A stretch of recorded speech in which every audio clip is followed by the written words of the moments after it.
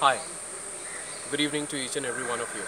My name is Anand and I'm from the Emcure Pharmaceuticals Private Limited company based out in Pune. Uh, talking about this workshop, this is my first time coming to Kolad and the first thing reaching to here after reaching to this particular place is stunningly beautiful. Coming to the exactly the program, it was awesome which was built in with the requirement of us for the team building and the trust building.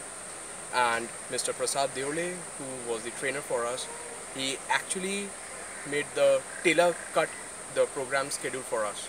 So to each and everyone out there whomsoever would be uh, doing some kind of the outbound training I guess this is the best spot to be here. So thank you very much. Looking forward to see you ahead